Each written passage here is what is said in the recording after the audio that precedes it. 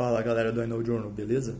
Meu nome é Vitor e eu trouxe para vocês um trabalho, uma revisão da literatura a respeito das repercussões do tratamento ortodôntico compensatório em maloclusões esqueléticas. Bom, quando nós tratamos desse tema, nós visualizamos o estabelecimento de uma desproporcionalidade entre a maxila e a mandíbula.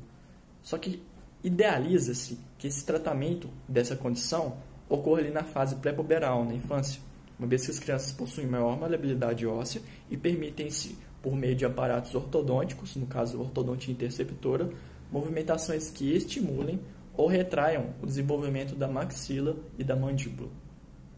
Só que quando esse tratamento não ocorre na fase da infância, ou seja, nós precisamos tratar indivíduos já adultos, nós lançamos mão de tratamentos que não são considerados tão conservadores, como é o caso do tratamento ortodôntico compensatório, que também pode ser denominado de camuflagem ortodôntica, ou do tratamento ortocirúrgico.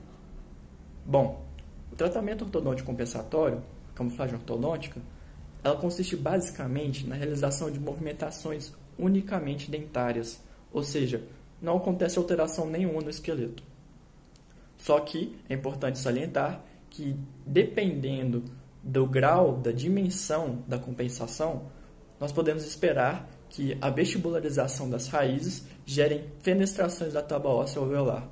Além disso, o indivíduo está sujeito, no caso de um indivíduo portador de padrões faciais classe 2, devido à compressão das vias aéreas, o paciente tem a probabilidade de desenvolver alguns quadros epinéicos durante a sua vida.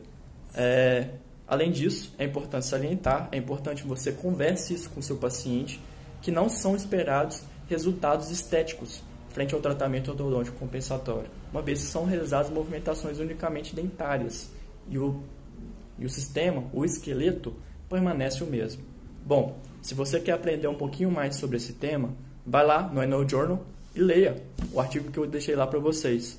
Qualquer dúvida, vocês podem deixar aqui nos comentários do YouTube ou vocês podem me perguntar no Instagram, beleza? Forte abraço, até mais!